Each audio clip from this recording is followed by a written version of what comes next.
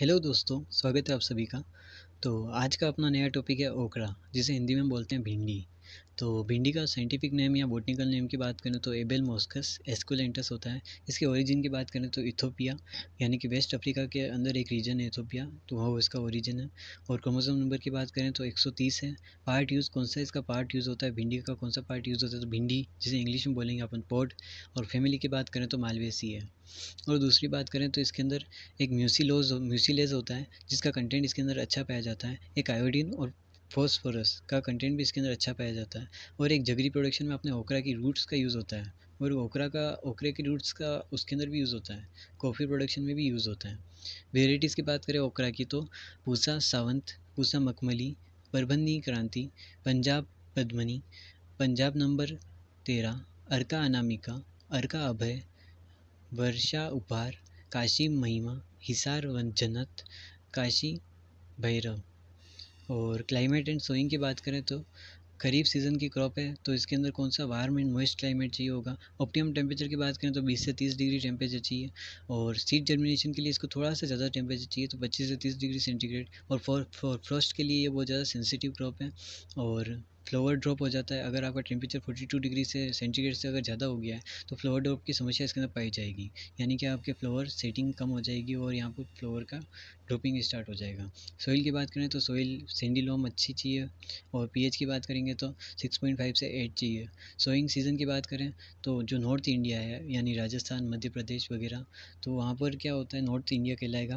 वहाँ पर spring spring summer crop होती है और एक रेनी समर क्रॉप होती है। स्प्रिंग समर क्रॉप की आप सोइंग कब करोगे तो फरवरी, मार्च में करोगे और रेनी सीज़न की क्रॉप का आप सोइंग कब करोगे तो जुलाई, अगस्त में करोगे।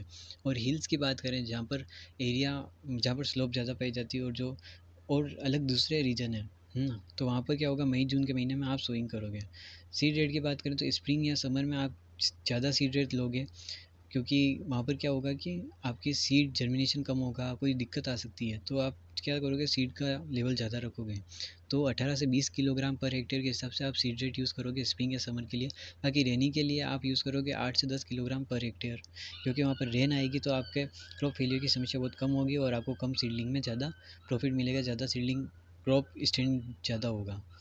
और water soaked of seed before twenty four hours of sowing, आपको क्या करना है, सीड जब आप सोइंग करोगे तो उससे एक दिन पहले, यानी चौबीस घंटे पहले आपको पानी में डुबो के रखना होगा।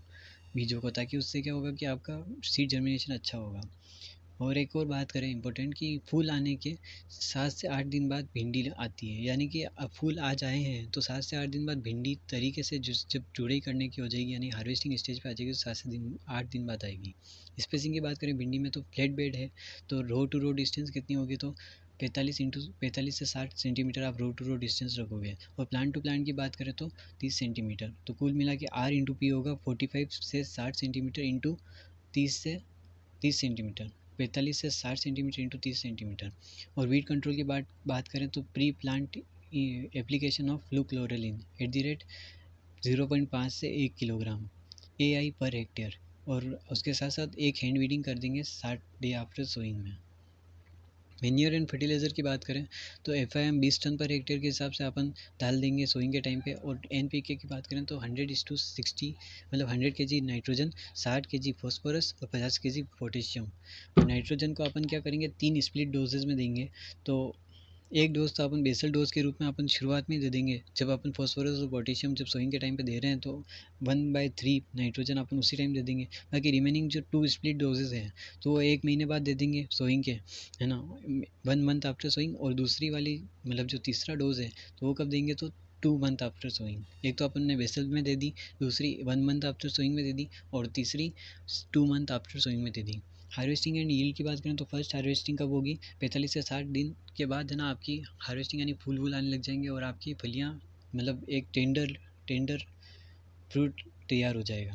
फ़र्स्ट फ़र्स्ट हार्वेस्टिंग कब करेंगे तो पैंतालीस से साठ डे आफ्टर सोइंग और मेचोरिटी इंडेक्स क्या है इसका? तो टेंडरनेस या तरोताज़ा भिंडी इंसेक्ट की बात करें तो जेसिड्स लगते हैं जो से, सेल का सेप सक करेंगे है ना? स्प्रे, आप तो उसका कंट्रोल कैसे करेंगे? तो अपन स्प्रे कर लेंगे क्रॉप को थायोमिथोक्साइम से half millilitre per litre water के अंदर। और दूसरी डिज़ीज़ कौन सी लगती है? तो येलो वैन मोजेक वायरस लगता है, जो कि बेगोमो वायरस की वजह से फैलता है। और वेक्टर क्या है इसका? येलो वैन मोजेक वायरस का तो वाइट फ्लाई है।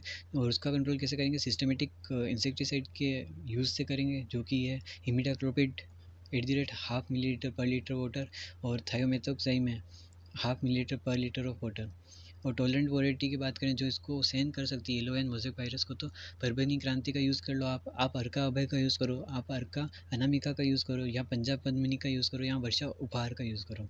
तो इन सब वेराइटीज़ को उगाएँगे तो वो है मतलब तुरंत मतलब जो येलो एंड मोजेक वायरस अगर उनके लग गया तो वो सहन कर लेंगे और वो ठीक ठाक ईल्ड दे देंगे। डिज़ीज़ की बात करें तो पाउडरी मिल्ड्यू लगता है।